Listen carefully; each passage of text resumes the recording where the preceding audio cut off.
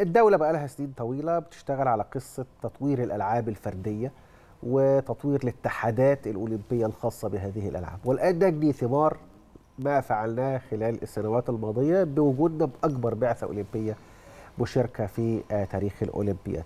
تعليق حضرتك. آه، ده حقيقي فعلا زي ما حضرتك بتقول يمكن دورة الألعاب الأولمبية دايما بتكون هي يعني موسم الحصاد للألعاب الفردية.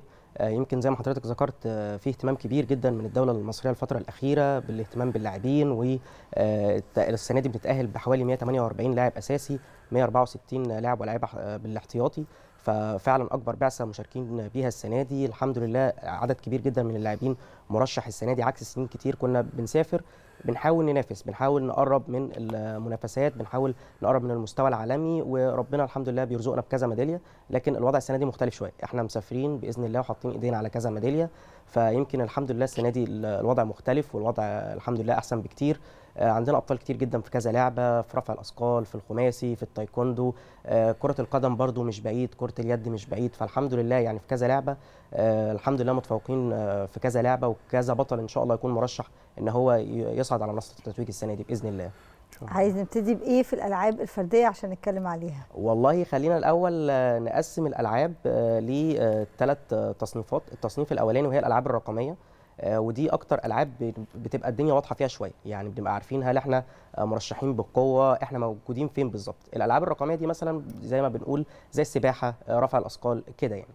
فطبعا آه، أبرز الألعاب اللي عندنا اللي مشاركين فيها طبعا رفع الأثقال. آه، وهي لعبة رقمية. بتبقى بتبقى الموضوع واضح فيها قوي إن إحنا موجودين فين بالظبط. آه، أبرز اللاعبين عندنا طبعا آه، بطلتنا سارة سمير في وزن 81 كيلو. آه، بطلة كبيرة جدا والحمد لله قدرت تحقق برونزية آه، ريو دي جانيرو في 2016 آه، بعد إيقاف طبعا رفع الأثقال في طوكيو راجعين تاني من جديد آه، في باريس. آه، بصراحة الأمال كلها عليها بإذن الله إنها تحقق بقى المرة دي ذهب يعني بإذن الله. آه، أرقامها قريبة جدا. آه، إحنا بنتكلم إن شاء الله على ميدالية مضمونة. نتمناها ذهب آه، منافستها قوية جدا آه، مع بطلة الإكوادور آه، وكذا بطلة يعني لكن هي بإذن الله موجودة في أعلى ثلاث أرقام يعني كأرقام ليها هي موجودة في أعلى ثلاث لاعبات فإن شاء الله تكون موجودة على منصة التتويج. ده التصنيف الأولاني.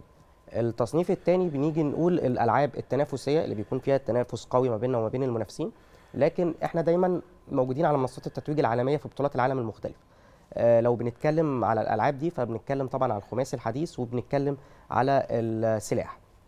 يمكن الحمد لله إحنا عندنا آه، في الخماسي الحديث أحمد الجندي في أولمبياد طوكيو الأخيرة حقق ميدالية فضية.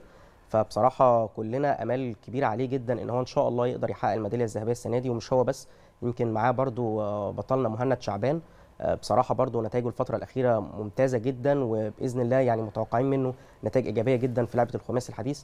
كذلك السلاح يعني يمكن إحنا السلاح محققين ميداليه فضية في أولمبياد آه، لندن 2012 عن طريق آه، بطلنا المصري علاء الدين أبو القاسم. آه، السنة دي كذا لاعب مشارك. آه، عندنا طبعا آه، زياد السيسي بطل مصر في سلاح السيف هو المصنف الأول عالميا آه، دلوقتي. فبصراحة إحنا كلنا آمال قوية إن شاء الله يحقق ميدالية بإذن الله.